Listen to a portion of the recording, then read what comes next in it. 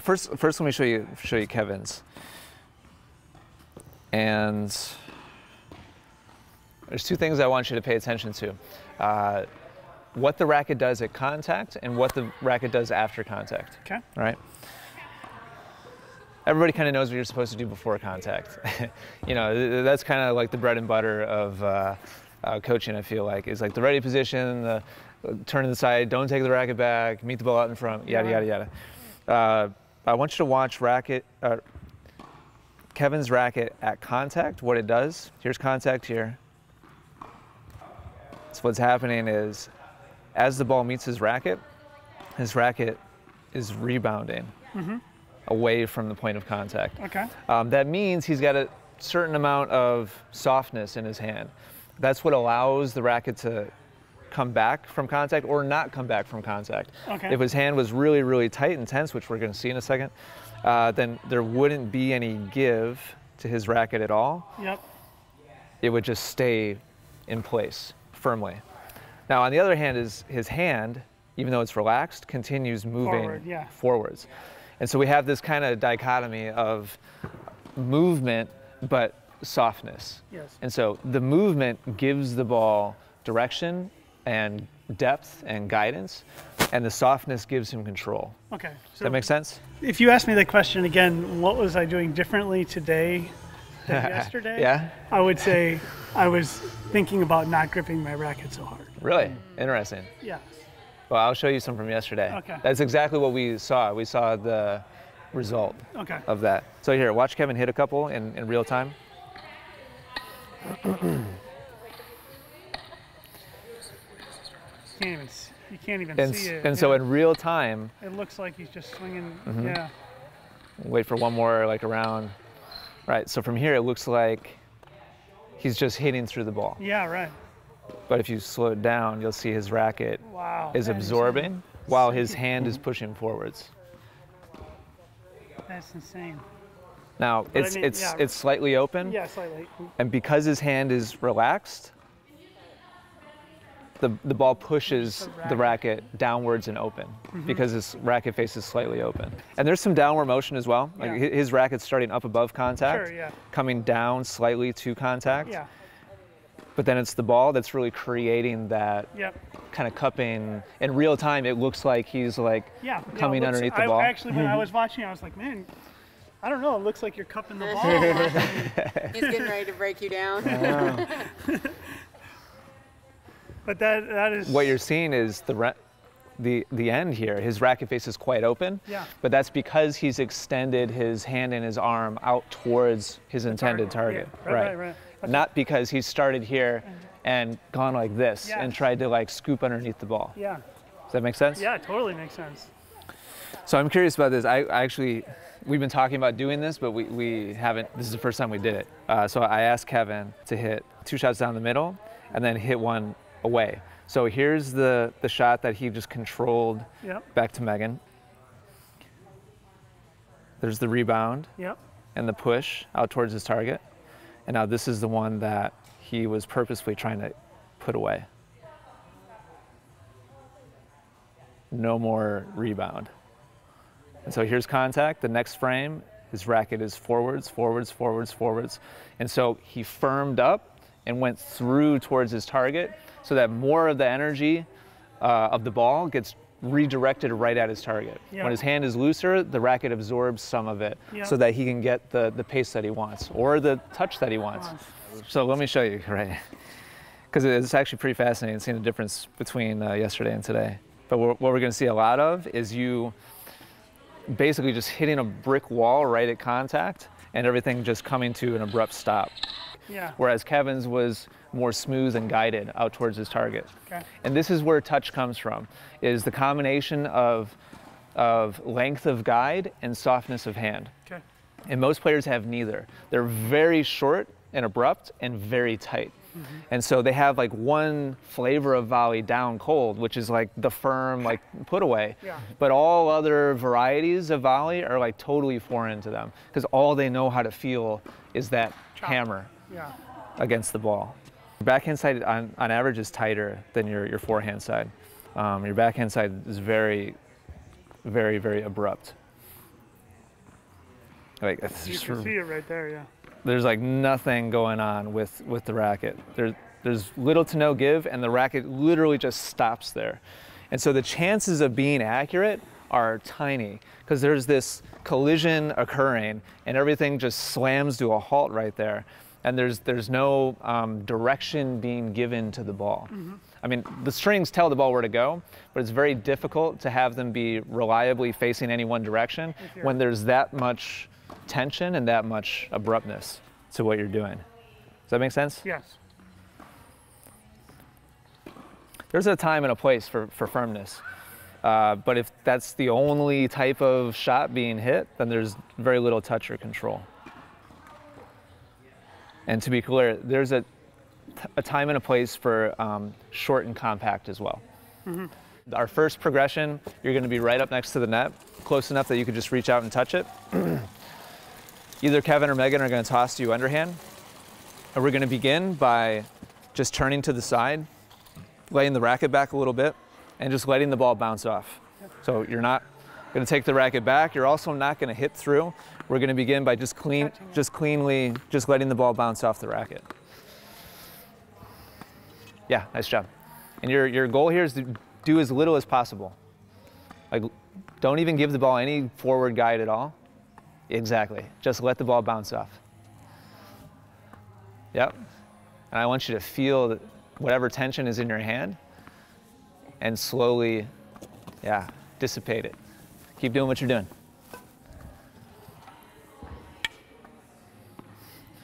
Check this out. So here's the the ball that you just let bounce off your racket. Watch your racket.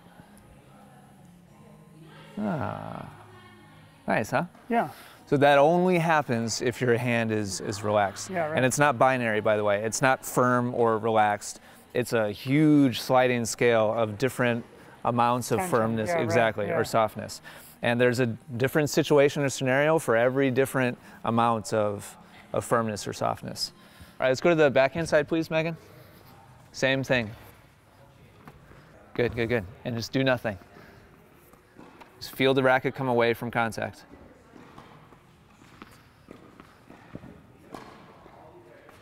Good, good. Here, here's uh, two reps ago. There wasn't a whole lot of give. This is two shots ago. A little bit. Mm-hmm. And now here's the shot that, that you just hit. Oh wow. Big difference, right? Oh, Boy, that's a huge difference. In real time, like it's t- it's it takes a pretty quick eye to see the difference. But that one was just kind of more stationary, dead. And watch this one. See how it came away? Yeah. And it's all it's all from your from your hand. Your hand. Yeah. Nice. Uh, your job now is to set up the same way, wait for the ball to get close to your racket, and then give it a little bit of a guide. And so what we're looking for now is like a four, five, maybe six inch guide forwards. So there should be very little energy, you know, on your part going into the ball.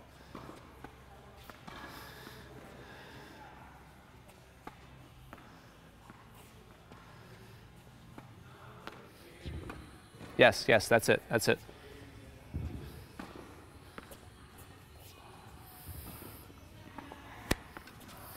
Watch the racket, rebound, Oh, yeah. and then watch the push forwards. This is, is, Is is what I want. exactly the framework that we want for your volley. Okay, Sean, now we're going to take that same framework and apply it to the backhand side, where you're used to being extremely short. And so, show me a couple shadow swings, like just calm, smooth forward guide, which is what we want to see on the video with uh, absorption from, from the racket. Yep, right idea. Right idea.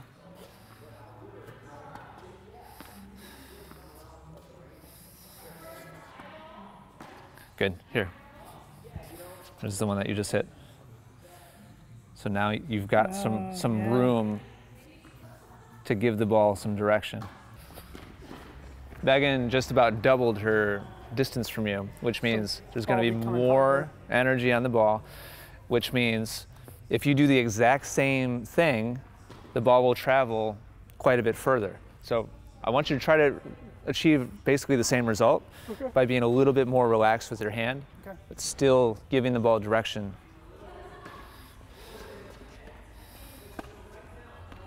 This is going to be great. Good job, Sean. This is what we want to see.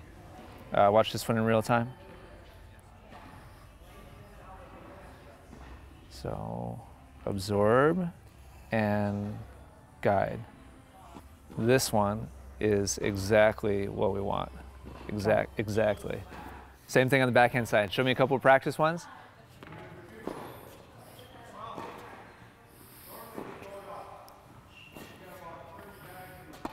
Really nice, Sean. That's it. That's it.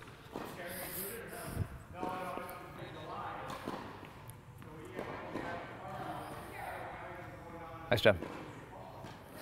Okay, Megan's going to feed back and forth between your forehand and backhand now. Okay. And we want to see the same calm, smooth guide on both sides with, with rebound on both sides. Really nice, Sean. Great job, great job. Good job on the forehand, Sean. Good. Good job. I'm gonna play a couple of these. Forehand's looking really nice. Well, just It's pretty good. It's pretty good.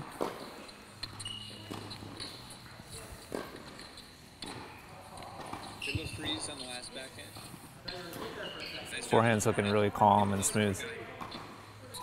that was better. Nice job. So, yeah.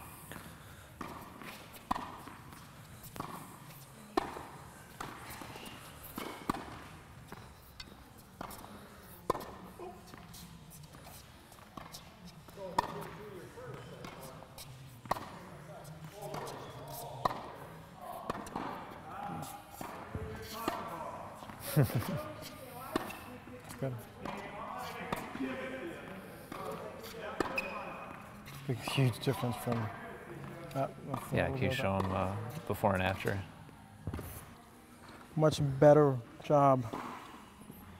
Yeah, more rhythm on the backhand. Mm-hmm. All weight back. Yeah, and then see how the racket. It's a little higher, but look how. Mm-hmm. You, you look like a good volleyer on the on the left. Yeah, versus somebody just kind of fending off balls. Yeah, Yeah, kind of playing defense. Yeah. Your target is past the service line over on the other side. We're looking for a long guide out towards the other side.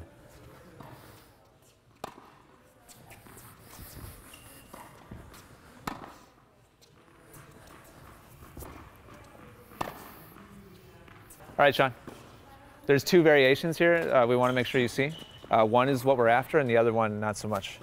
So the one you just hit, you created depth, and it's because of the length of your movement through the ball and the angle here at contact. Now, what should happen from here is your racket should go out and continue to, to open. You have a habit of turning and closing the racket face. And it's a little, it's a little nitpicky, a little immaterial because the ball is already gone. But I don't want this pronated turning mm-hmm. of your hand to start sneaking its way back in, closer to contact, mm-hmm. where you're starting to close the racket face. Later on, after a couple of reps, you actually started to, to open the racket up. I think this next one, this is this is what we're looking for. So Impact. same same angle at, at impact, but as you went through, you presented the strings to the ceiling instead of closing the racket over. Okay. So this is this is what we want to see here. Nice timing with your step, nice uh, absorption, nice guide. And so you should finish with the, the, rack, the racket angled up towards the, the ceiling, Okay. not turning over and closing it.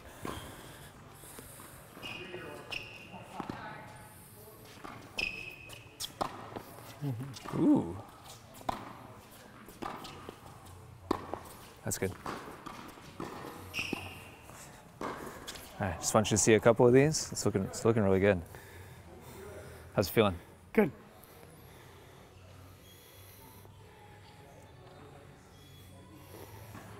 Looks like you're creating depth pretty easily, like smoothly. You're not having to punch or hack at the ball at all. And that half hour was pretty smooth. Kevin and I both kind of looked at each other after this shot. This is really nice use of your feet and your body. And the guided Yeah, motion really, out through the ball. It's really smooth. No, I just have to remember to keep my hands soft. Depending on the situation. Yeah. And again, it's, it's not an on off switch. Yeah, like, right. uh, It's about matching firmness to the situation.